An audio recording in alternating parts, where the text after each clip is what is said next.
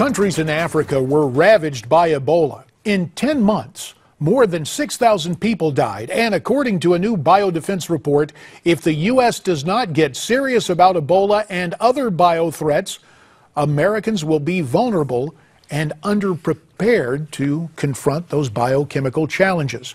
For more on the story, we're pleased to be joined from Newsmax Washington by former United States Senator Joe Lieberman. Joe's now senior counsel at Kasowitz, Benson, Torres, and Friedman, and he also serves as co chair for the Blue Ribbon panel on biodefense. Joe, thanks for your time here on Newsmax Prime. JD, great to be with you. Thank you. Yes, sir. Now, earlier today, you released the results from your study on biodefense. Have we done enough to protect ourselves from bio or chemical attack? Uh, unfortunately, we have not. And you know, it's 14 years since the anthrax uh, attacks on the Capitol, which you'll remember well, which closed uh, the Hart Senate office building, in which I happen to have my office for about three or four months. Um, we're, we've, we've done some. I mean, we're in better uh, position to defend against bioterrorist attacks than we were then. But I got to tell you, the, this uh, uh, panel that studied this, Tom Ridge, my co-chair, former um, Secretary of Homeland Security, bipartisan panel, uh, we concluded that we're spending about $6 billion a year on biodefense, and we're not getting our money's worth. And, and you cited Ebola, which is a good example uh, of what, what, what's lacking. I mean, Ebola virus was on a warning list um, as likely to come to America at some point for about 10 years, and yet we never developed a vaccine to it or significant uh, medical countermeasure. When it broke out, it was pretty clear uh, to everybody that the federal government wasn't really ready to deal with it. Hospitals hadn't been prepared for it. We were lucky. Uh, we, we, the, the real incidence of the disease didn't come here, but next time it might well, and next time we want to make sure that we're ready uh, with hospitals and a medical system prepared to respond, and also, most important of all, some kind of vaccine to help people. So you, you list a vaccine as a preventative action in the case of something like Ebola, but generally speaking, what is the most important action we can take to better protect America? Okay, th this report uh, I wouldn't uh, is uh, is really substantial, and I'm very proud that I was able to work on it.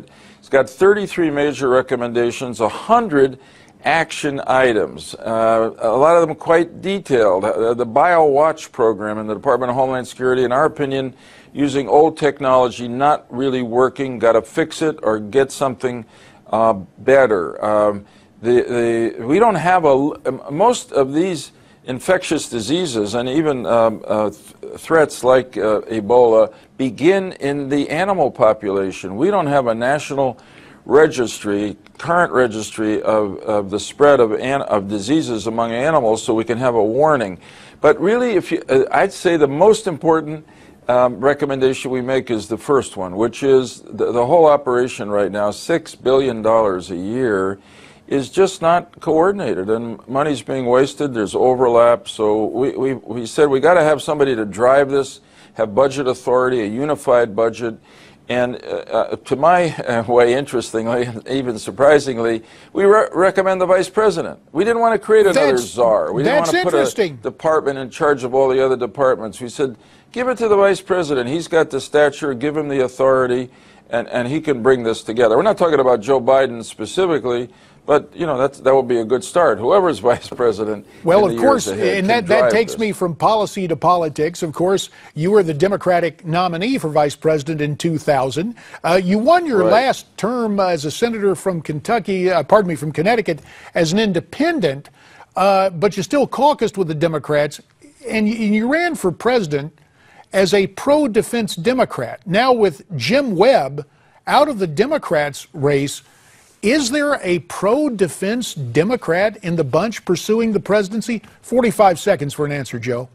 Yeah, JD, it's, it's a really important question, and it's pretty obvious. Look, I joined the Democratic Party as a kid uh, because I was inspired by President John F. Kennedy. Uh, strong, muscular, pro defense foreign policy. That, that wing of the party, uh, unfortunately, uh, it's there, but it's small and it's, it's shouted out by others who don't uh, share the same philosophy. And I think unless the Democratic Party regains credibility on foreign and defense policy, there's going to be a reluctance by a lot of people to vote for a Democratic candidate for president.